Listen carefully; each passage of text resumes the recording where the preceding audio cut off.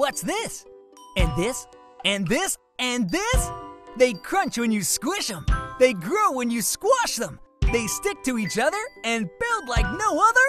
They're the shapeable bits that stick and stay, then pull away for endless play. Just connect them like that. They cling like this. Now add Bunchems accessories, and Bunchems make anything you please. Silly turtles that crawl, towers big and small, or just roll up a giant Bunchem snowball. Build an awesome Bunchems rainbowy bear, or dangle Bunchem spiders in midair.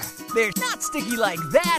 They're sticky like this. Bunchems always fits just the way you wish. There's no right or wrong way. Squeeze this way or that way. They stay where you stick them till you put them away. So neat and so easy to play. They crunch and scrunch. They bristle and tickle.